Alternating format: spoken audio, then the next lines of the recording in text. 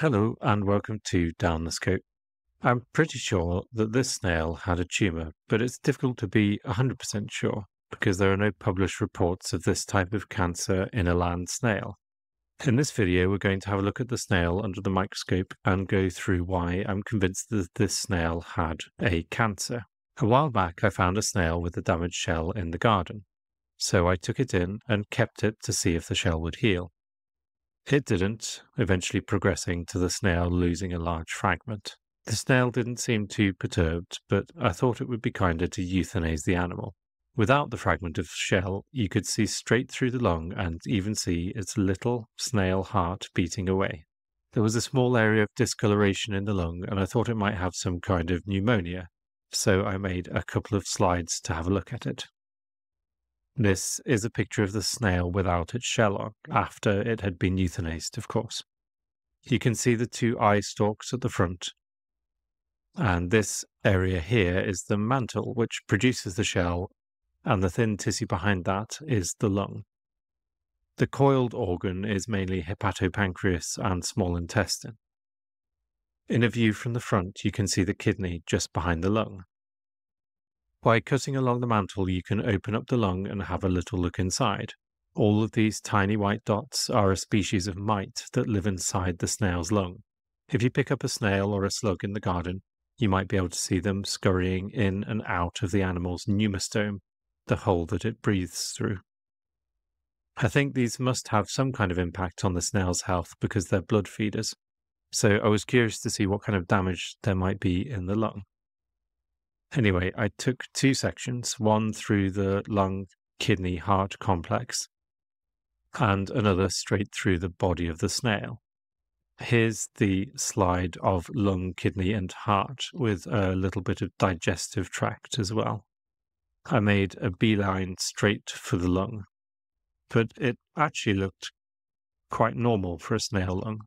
You can see some aggregates of melanocytes, which makes sense because the lung was quite heavily pigmented. Above that, we have some larger blood vessels, which will be carrying the snail's hemolymph or blood around the body.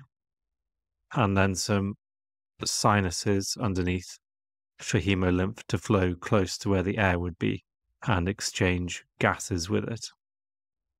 But as I scanned down through the lung, eventually I came across something that looked very unusual. This structure full of lots of immature cells. And then in the next section of lung, there are far more of these balls of undifferentiated abnormal cells within the blood vessels and the lung tissue. There were even more of them in the small fragment of digestive tract on the slide. Not within the tracted cell, but around it in the connective tissue.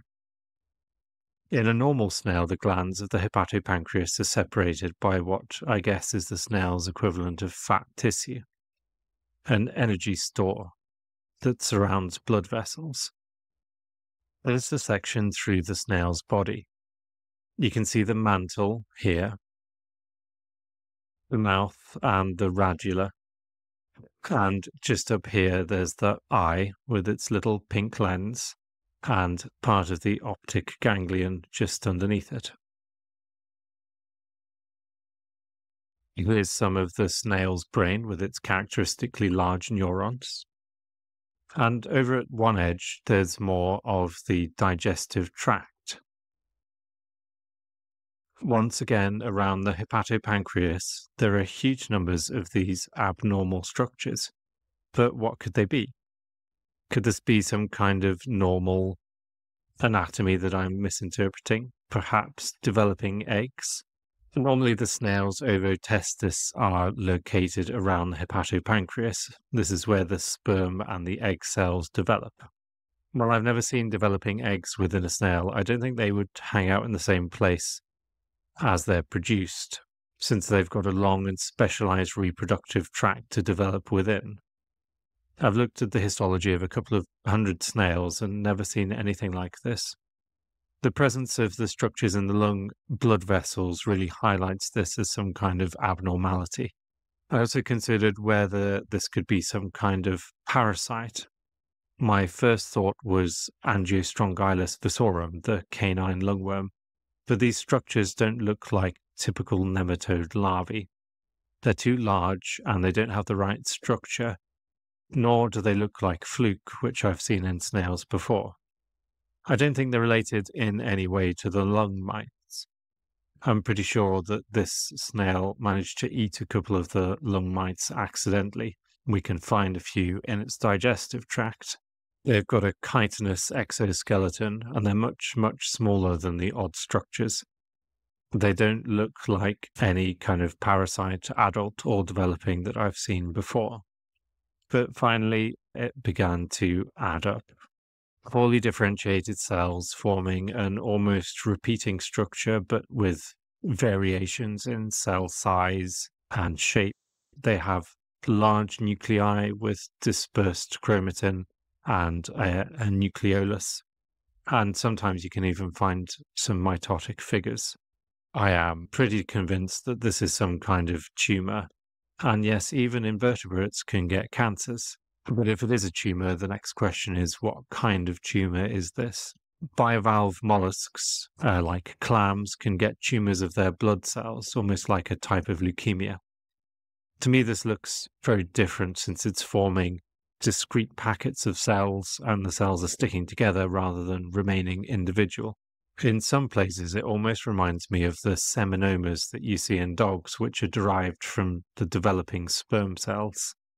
This put me in mind of some kind of gonadal neoplasia, a cancer derived from the ovotestis. It would certainly be in the right place. As I mentioned before, the ovotestis is normally found in the tissue around the hepatopancreas glands. The fragments in the lung are likely metastases, and that means that this snail would probably have eventually died from this disease. Now, this type of cancer has been described in marine mollusks, but I have not found any similar descriptions in terrestrial snails, so this might even be the first reported case of such a tumor in this group of animals. So that's everything for today. If you want to know more about normal snail anatomy, you can check out my other videos on that. Otherwise, thanks very much for watching, and until next time, goodbye.